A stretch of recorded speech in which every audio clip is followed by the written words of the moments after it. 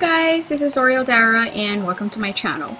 Now, I created this new Create a Sim series here in my channel wherein I will be sharing to you how I created the characters for my Sims 4 vlog series. So for today's Create a Sim video, I'll be sharing to you how I made Celeste Taylor.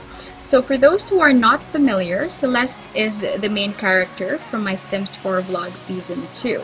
If you haven't seen it yet, I will link the playlist in the cards above and also in the description box below. It's a 10 episode series, it's complete, it's fully uploaded, and I hope you check it out.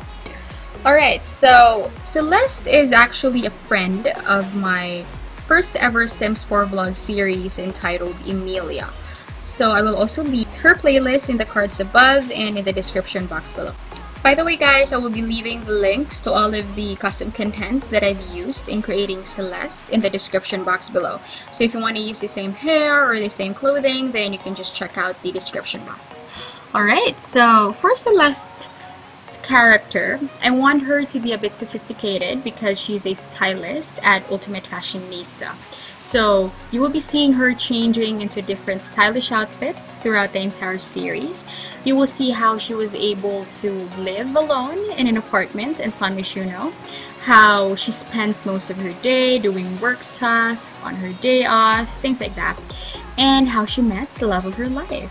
So if you're curious about her life, about herself, her personality, her career, then you should check out her series it's in my channel, it's in the playlist, it's entitled Celeste. Then I hope you check it out and enjoy. I guess that's it. I hope you will enjoy, continue watching this video, and I hope you will like this video, subscribe to my channel, and that's it. Love lots. Bye!